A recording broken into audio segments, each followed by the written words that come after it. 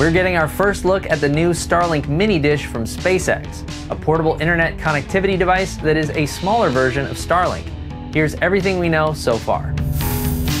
In a series of tweets, Elon Musk shared that he had just set up a Starlink Mini and was writing his posts, quote, through space. He also shared a screenshot of a speed test that showed 23 milliseconds latency.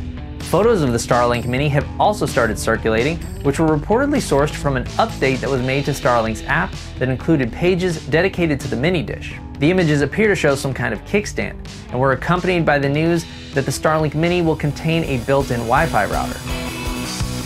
Starlink is designed to bring internet access to remote areas using a network of satellites launched into orbit on SpaceX rockets.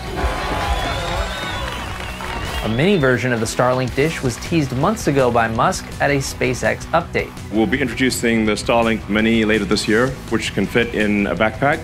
The standard Starlink hardware costs about $500, plus a monthly subscription fee that's $120 for residential use and $150 for roaming.